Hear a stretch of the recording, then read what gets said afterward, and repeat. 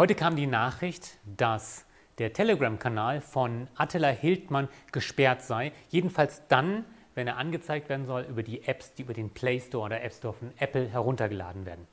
Gute Nachricht für die Bekämpfung von Hetze. Auf der anderen Seite kommen gleich die Bedenken, ist das denn eine gute Nachricht, wenn Google jetzt die Inhalte bestimmt? Sollte nicht lieber ein Gericht die Entscheidung treffen, ob Attila Hildmanns Kanal sichtbar sein darf oder nicht?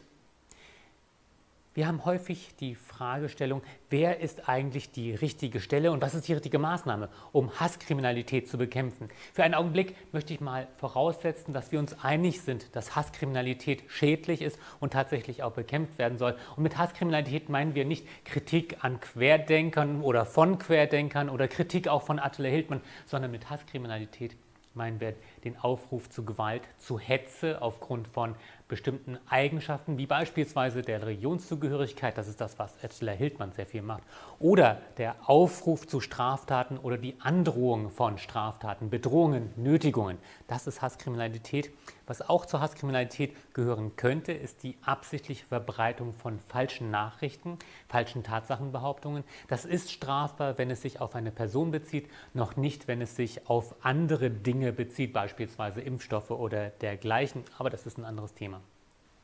In der Diskussion über das Netzwerkdurchsetzungsgesetz war eine Position häufig, ach, lasst uns nicht Facebook und Google und Twitter darüber entscheiden, was zur Meinungsfreiheit gehört, lasst uns das lieber die Richter entscheiden.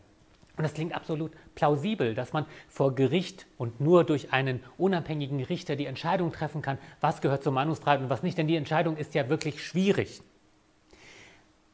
Die Konsequenz daraus ist allerdings folgende. Ein Großteil, der allergrößte Teil der Hasskriminalität wird niemals vor Gericht verhandelt werden, weil allein schon der Täter nicht ermittelt werden kann. Und diese Hasskriminalität würde dann stehen bleiben. Das gilt zum Beispiel für Attila Hildmann, denn im Augenblick ist es juristisch unmöglich, Attila Hildmann zur Verantwortung zu ziehen oder eine Löschung seiner Inhalte auf Telegram zu bewirken. Warum ist das so? Nun, einerseits, weil das NetzDG Telegram nicht umfasst, das könnte man natürlich ändern, aber zum anderen natürlich auch, weil sich Attila Hildmann in der Türkei aufhält und nicht nach Berlin zurückkommen will. Vielleicht wurde er vorher gewarnt, aber das ist nochmal ein anderes Thema. Es gibt einfach sehr, sehr viele Täter, die sich sehr einfach der Justiz entziehen können. Und selbst wenn ein Attila Hildmann oder ein anderer Täter vor Gericht gezogen werden würde, würde es nicht einmal zur Löschung der Inhalte führen. Denn die Strafprozessordnung sieht gar nicht vor, dass ein Inhalt gelöscht werden kann. Das einzige Gesetz, was eine Löschungspflicht enthält, ist das Netzwerkdurchsetzungsgesetz. Es ist also dann doch wieder das Netzwerk, das diese Entscheidungen treffen muss, diese Entscheidung durchsetzen muss. Aber die Frage ist ja eigentlich, wer soll diese Entscheidung treffen? Wenn wir allerdings sagen, dass die Entscheidung nicht von den Netzwerken zunächst einmal getroffen werden soll, sondern wenn wir abwarten, dann bedeutet das, dass die Netzwerke gar nichts löschen oder das löschen, was sie selbst löschen wollen.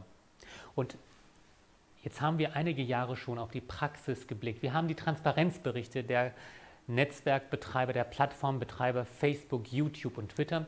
Und wir haben Folgendes dabei festgestellt. Gelöscht wird nach dem Netzwerkdurchsetzungsgesetz fast nichts. Es ist nicht mal ein Promille, was danach gelöscht wird. Und es wird sehr viel gelöscht, was gar nicht gegen das deutsche Recht verstößt. Dieses Overblocking, vor dem wir uns so sehr fürchten, kommt nicht durch das Netzwerkdurchsetzungsgesetz, sondern trotz des Netzwerkdurchsetzungsgesetzes. Es war schon immer da, weil nämlich Google, Twitter, Facebook selbst entscheiden, was sie entfernen wollen und was nicht. Das heißt, all diejenigen, die sagen, das dürfen wir denen nicht überlassen und deswegen dürfen wir nicht regulieren, bewirken genau das. Wenn wir nicht den Plattformen sagen, was sie entfernen und was sie stehen lassen sollen, dann werden sie nach ihren eigenen Regeln entfernen oder nicht entfernen. Und das machen sie in einem extrem großen Umfang. Das sieht man in den Transparenzberichten. Deshalb glaube ich, es ist wichtig, dass wir die Regeln vorgeben. Und zwar die Regeln, die basieren auf den Werten, Normen und Abwägungen unseres Grundgesetzes. Zum Beispiel die Regeln, die besagen, dass die Meinungsfreiheit gewahrt werden soll. Und das ist das, was so schade ist an der Stelle. Wir reden ständig vom Löschen, aber eigentlich sollte das Netzwerkdurchsetzungsgesetz, und das tut es auch in der neueren Fassung, dafür sorgen, dass die Meinungsfreiheit geschützt wird. Dass nämlich derjenige, dessen Inhalt gelöscht wird, die Möglichkeit hat, gegen eine solche Löschungsentscheidung vorzugehen. Und zwar mit einfachen Mitteln.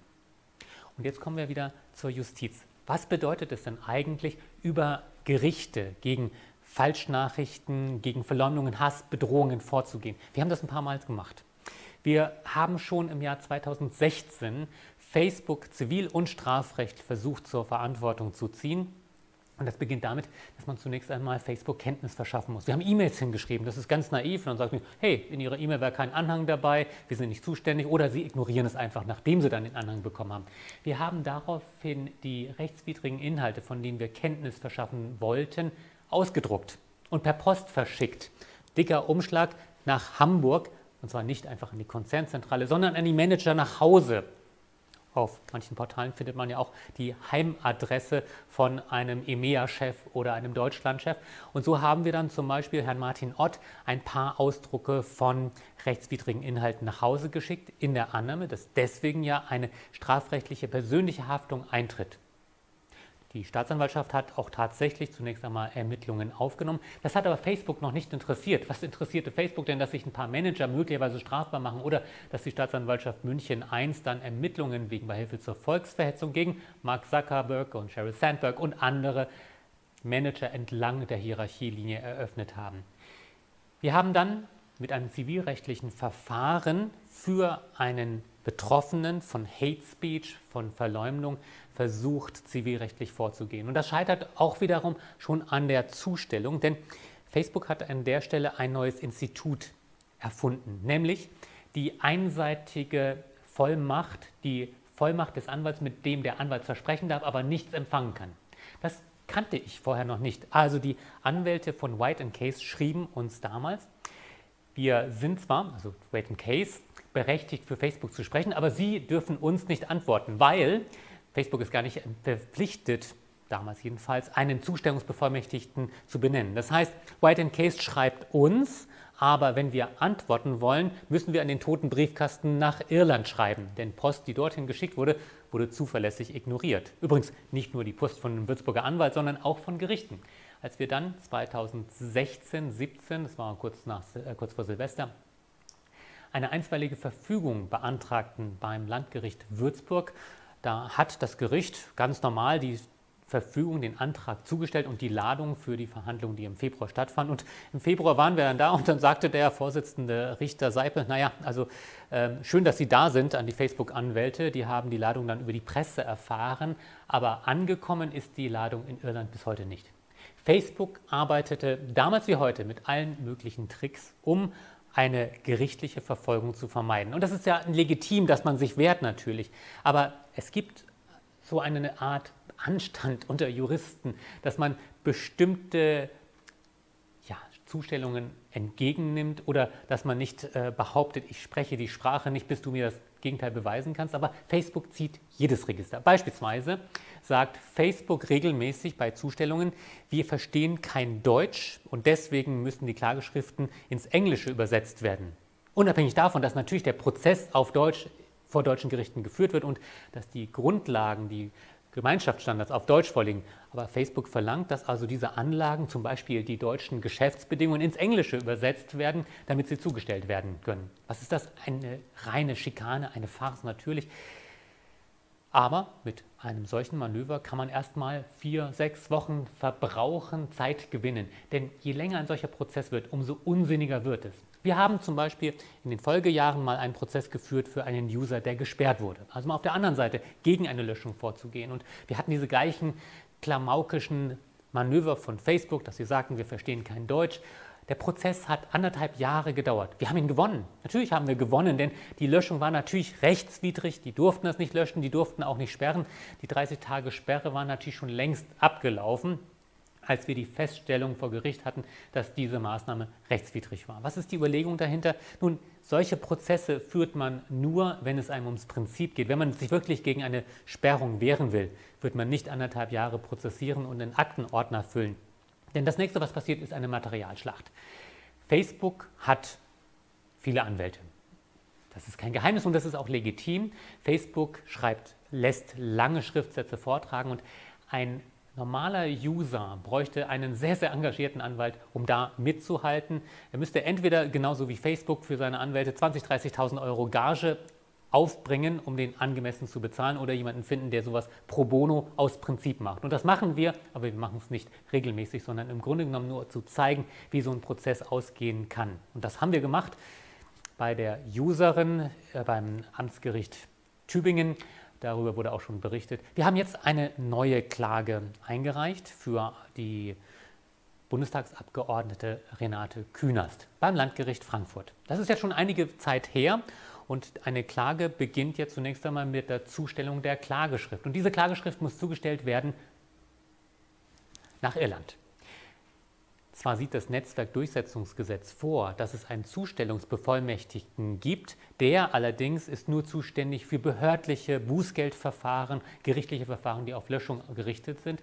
Und die von Facebook berufenen Anwälte in Berlin sind der Auffassung, dass sie nur dafür zuständig sind, dass alles andere, was man ihnen zuschickt, zuverlässig vernichtet und nicht weitergeleitet wird. Haben wir oft genug versucht und da kommen dann immer die gleichen albernen Antworten zurück. Bei Twitter ist es noch schlimmer, da ist eine Gesellschaft beauftragt, die wird von Anwälten vertreten, eine Anwaltsgesellschaft. Da haben wir dann über ein, das besondere elektronische Anwaltspostfach den Kollegen ein Schreiben zugestellt und die haben darauf geantwortet. Und zwar mit einer Drohung. Sie haben gedroht, wenn ich nochmal dieses Postfach nutzen würde, um den Partnern der Kanzlei etwas zuzustellen, dann würden sie juristisch dagegen vorgehen.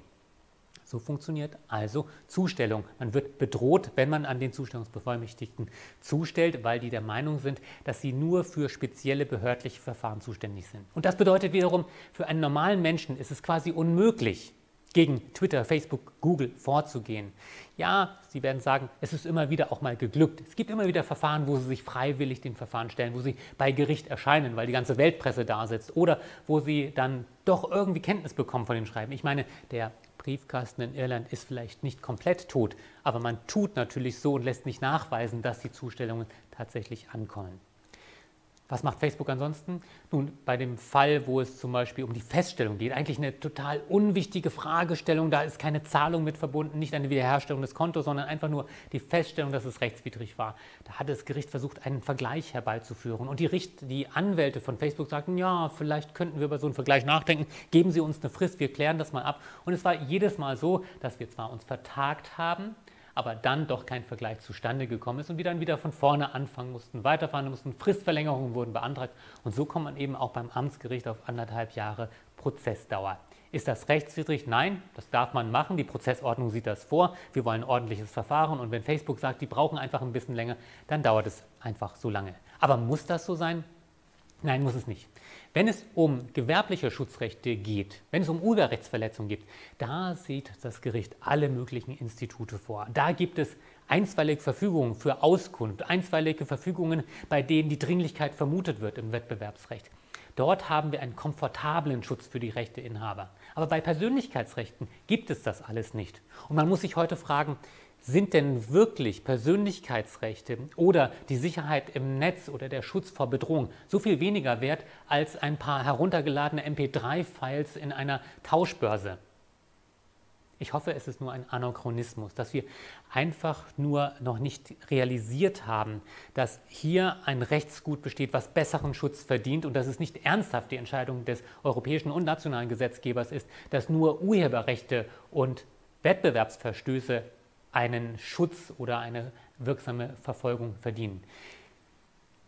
Immer wenn es darum geht, dass wir wirksame, effektivere Maßnahmen gegen Hasskriminalität brauchen, kommen die Einwände auf, oh, das ist aber alles sehr nah an der Meinungsfreiheit und wir brauchen die Anonymität im Netz und wir brauchen die Neutralität und ich habe Bedenken. Ich weiß zwar nicht genau, aber wir würden, sollten nicht das Kind mit dem Bade ausschütten. Das sind die Einwände, berechtigte Einwände vom Ansatz her, die immer wieder kommen. Aber ich glaube, im Jahr 2021 sollten wir die Einwände konkretisieren und wir sollten an den Einwänden arbeiten. Wenn es darum geht, die Meinungsfreiheit zu schützen, dann brauchen wir Institute, um die Meinungsfreiheit zu schützen dann sollten wir den Usern die Rechtsmittel an die Hand geben, dass sie sich gegen fehlerhafte Content-Entscheidungen wehren können. Und zwar effektiv wehren können. Und zwar mit Mitteln, die auch vor ordentlichen Gerichten überprüft werden können. Wir können aber nicht deswegen sagen, wir lassen die ganze Hasskriminalität stehen, nur weil wir noch nicht auf die Idee gekommen sind, wie wir gleichzeitig die Meinungsfreiheit schützen. Wir müssen beides tun. Wir müssen Hasskriminalität bekämpfen und gleichzeitig die Meinungsfreiheit schützen. Und das tun wir nicht dadurch, indem wir sagen, Google, übernimm du das, entscheide Entscheide du, wie du die Meinungsfreiheit am besten schützt. Wir unterwerfen uns einfach deinen Gemeinschaftsstandards. Denn das ist ja genau das, was wir verhindern müssen. Es darf doch nicht sein, dass wir Herrn Zuckerberg entscheiden lassen darüber, was ist Hetze und was nicht, was fällt unter die Meinungsfreiheit und was nicht. Wir haben diese Fragen entschieden, wir haben dafür Grundrechte und die sind ziemlich differenziert und sie funktionieren auch im Internet. Und die Meinungsfreiheit geht am Schluss erstaunlich weit. Man wird sich wundern, wenn das überprüft wird, wie viele schmerzhafte, hässliche, dumme Kommentare trotzdem von der Meinungsfreiheit umfasst sind. Aber es gibt so vieles, was davon nicht umfasst ist und was bekämpft werden sollte, was entfernt werden sollte. Und so ist es dann auch richtig, dass man den Druck auch ausübt auf die Plattformbetreiber. Denn das ist der Multiplikator. Das ist die einzige Stelle, an der wir vorgehen können. Ja, ich weiß, es wäre schön, wir könnten alle Täter finden. Ja, Liberalen sagen, wir sollten lieber die Justiz besser ausstatten, damit die jeden Täter finden. Und dann die Polizei auch. Aber come on, Lass uns mal ernsthaft betrachten, was kann man denn tun gegen Hasskriminalität, wenn der User sich hinter einem Pseudonym verbirgt, dessen IP-Adresse gar nicht oder spätestens nach fünf Tagen gelöscht wird und man die IP-Adresse sowieso frühestens nach drei Wochen oder zwei Monaten von Facebook herausbekommt. Man hat keine Chance, gegen die vorzugehen. Es gibt zwar immer wieder Zufallstreffer, wo man doch jemanden findet, wie zum Beispiel den NSU 2.0 Verdächtigen, den man nur deswegen mit einem immensen Aufwand hat ermitteln können, weil der Hauptverdächtige die, Jurist, die hessische Polizei war. Denn, und darüber habe ich schon ein Video gemacht, als äh, der gleiche Täter, der Alexander M. nur mich bedroht hatte und meine Familie, da reichten Indizien nicht aus, um sofort reinzumarschieren. Erst später hatte man anhand seines Schreibstils, seiner verwendeten Avatare und so weiter realisiert, wer das ist und auf welchen anderen Portalen er unterwegs war. Aber schwamm drüber. Was wir feststellen ist, dass die Justiz das Problem nicht alleine lösen kann. Es ist richtig, dass wir Gesetze nachschärfen. Es ist richtig, dass wir den 241 StGB Bedrohung ein wenig anpassen und den Strafrahmen von ein auf zwei Jahre erhöhen. Denn es war ein Unding, dass Schwarzwaren genauso bestraft wird wie Morddrohungen. Jetzt wird es wenigstens mit zwei Jahren maximal bestraft, aber das löst nicht das eigentliche Problem. Es löst nicht das Problem, dass wir die meisten Täter sowieso nicht äh, fassen werden und dass die rechtswidrigen Inhalte durch anonyme Accounts weiterhin stehen bleiben. deswegen brauchen wir Regeln, die wir an die Plattformbetreiber weitergeben können, damit die die erste Entscheidung treffen, was stehen bleibt und was gelöscht wird. Die Entscheidung muss danach aber überprüfbar sein, meinetwegen auch durch ordentliche Gerichte. Wir brauchen Verfahren, die schnell und effektiv sind. Wir brauchen Verfahren, dass bei einer Meldung an einen Plattformbetreiber dieser vorläufige Maßnahmen ergreifen kann, wie beispielsweise einen Inhalt vorläufig sperren kann. Komischerweise funktioniert das wunderbar bei Bewertungsplattformen für Ärzten. Wenn ich eine Arztbewertung substantiiert angreife im Namen des Arztes, der davon betroffen ist, dann wird diese Bewertung kurz geprüft und zunächst einmal offline genommen. Dann findet eine Prüfung statt, wo dann auch der User kontaktiert wird und dann eine Entscheidung getroffen wird. Das funktioniert. Warum soll das, was für Yameda geht, nicht auch für Facebook und Google funktionieren? Weil es zu teuer ist? Weil es zu viel Geld kosten würde, Content zu moderieren und zu überwachen? Das kann nicht wirklich das Argument sein, es sei denn, äh, ihr seid die Lobbyisten vom Bitkom oder von den Plattformbetreibern selbst. Hier wird so viel Geld verdient, die Content-Moderation können wir uns dann auch noch leisten. Und wenn wir es uns nie nicht leisten können, dann ist das halt ein Geschäftsmodell, was man nicht betreiben darf. Warum sollte das denn bei anderen, allein deutschen Portalen wie zum Beispiel Yameda funktionieren?